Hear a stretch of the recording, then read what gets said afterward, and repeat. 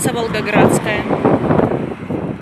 Целый день, с утра до вечера, по нашей улице двигается вот такой вот транспорт. Пыль столбом,